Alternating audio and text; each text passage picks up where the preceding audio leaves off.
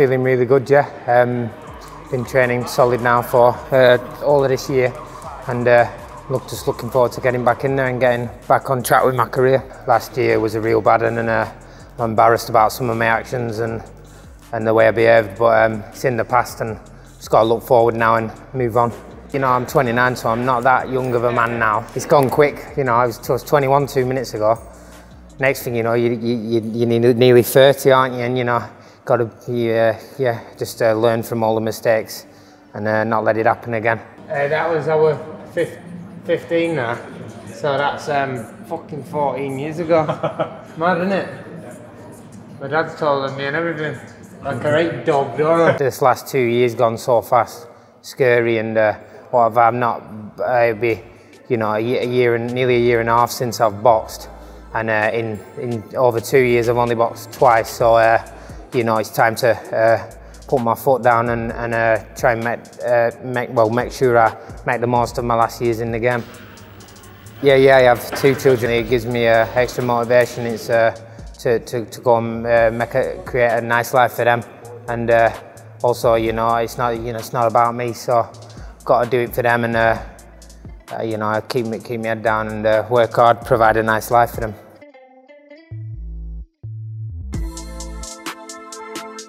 In the um, Cheeseman Metcalf fight the other week and that was a really good fight.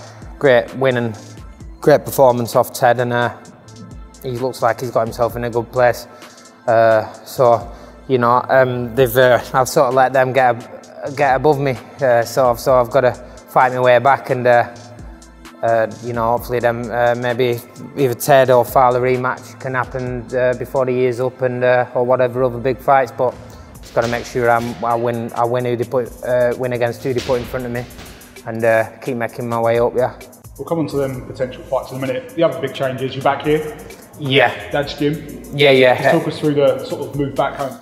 Um, I just, uh, I, you know, I, I, needed to be at home and uh, uh, some uh, my own reasons, like, and uh, I'm just uh, happier. I'm, I'm happy here anyway. They got these classrooms now, and there's a school. Uh, uh, it's a school in, called Awkward Education. Uh, got some of the lads in here today and that, and uh, you know I, I, help out in here as well. So uh, uh, something I can pass my knowledge on to these kids coming in here, and hopefully, uh, you know, make, make, get, give them a bit more knowledge on yeah. how to go about things. And that's what I'm trying to do: uh, give, give back and uh, show them a bit of boxing and talk to them about uh, which way to go in life and that as well. So you know, and uh, what not to do and stuff like that, yeah. And uh, hopefully they listen. They seem some good kids in here as well, so. This is Jake, one of the lads from the school I've been working with, and uh, so how do you, uh, have you been finding it in the gym? Uh, it's good. I like it. It's like one of the best schools that I've been to. So. Yeah, you do. Well, he's a good lad as well. So uh, he's 15 and so old I were when I had my first fight. So hopefully get these amateurs back on, we'll get you a fighter. Yeah. And yeah, win yourself some gold medals and that. From Preston, the undefeated Yeah, yeah, it's gone fast since then and uh, you know, a lot of it, it's gone really fast. A lot of that time was just a blur and uh, but uh, it was nice, you know, I'd always uh, been, my dream was just to win that British title and uh, I won it. And then uh, you know, I didn't get I didn't get right back in the gym like I should have, and uh, and then by the time uh, I did get back to it, it's when COVID kicked in and stuff. So uh, I kept saying to my dad, I was going, "No, Dad, I'm just going to chill until this COVID's done. I'll just chill until this COVID this COVID's done, and then we'll get back on it." And my dad, uh, my dad was saying, "But it's got that might last uh, a year or something like that." And I was going, "I did, I didn't think it would, but." Right now, not fighting in eight, 18 uh, months, basically. Um, I, I, want, yeah, I want, I want a few fights and uh, uh, one or two fights, and then I think like uh, uh, trying to get my British title back would be yeah, ni nice move for me, and uh, you know, get that back and maybe win it outright or just move on from there, Europeans and Worlds. But definitely the the good fights for me for that British. There's a Cheeseman who's just looked good winning it back, and Fowler. Uh, he's looked good in some performance in some of his fights, in his last few fights, and uh, they, they might fight each other for it in the meantime. And uh, you know, I beat both of them, so if they, you know, what, whichever one of them's holding it, if they want to get, you know, the revenge, they can they can give me that fight, can't they? Get a fight or two, or two fights in, and, I, and I'm ready for it, either one of them then. So, uh, uh, and uh, you know, Fowler especially, I'd like to go and since that fight, you know, it's been a mad one really for me, and uh, I'd like to go back and redo that and do an even better job and uh, and move on from there, uh, staying focused, you know, after um, after it and move on to bigger things. Then uh, I saw bits of it um, the other Forte the other week, and he looked, uh, yeah, he looked decent. Uh, looked decent. He's not. He's, he's changed a few things, but he'll still always be the same as well. So, so I'm confident I can beat him again and do a better job on him.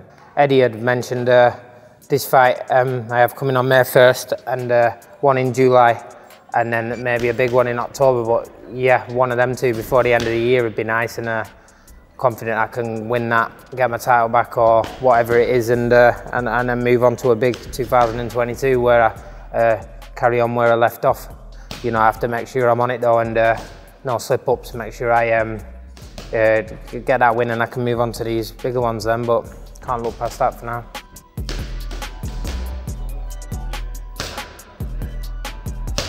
You've got your Preston jacket on there. Yeah, yeah. You know the fans have turned out in force for your last couple of fights. Yeah, yeah, yeah. They've been unbelievable outside the stadium singing, you know, no offense, no offense songs and my, my name and stuff. It's an amazing feeling. So, uh, I, I know, I, you know, I get a lot of people I see and chat to and all message me and they say, I'm um, like, oh, they can't wait for the next big nights and that. So, hopefully, this uh, COVID's coming to an end and uh, hopefully by the end of the year they will be allowed back to normal fans in and I can have one of them big fights, you know, to bring uh, and they can all have a good night. So my last few years in the amateurs, there were always like uh, the lads from the lo local, good few from the local pub would come and they'd be cheering my name and uh so I, I, don't know for it to be no one there and just, yeah, it's going to be weird, but I'll just have to deal with it. Might be nice, you know, it might be all right after not boxing for a bit yeah. and coming back and just the less pressure of yeah, yeah. everyone being there sort of thing, you know. May, I usually thrive off it though, but, but I'm sure I'll be fine.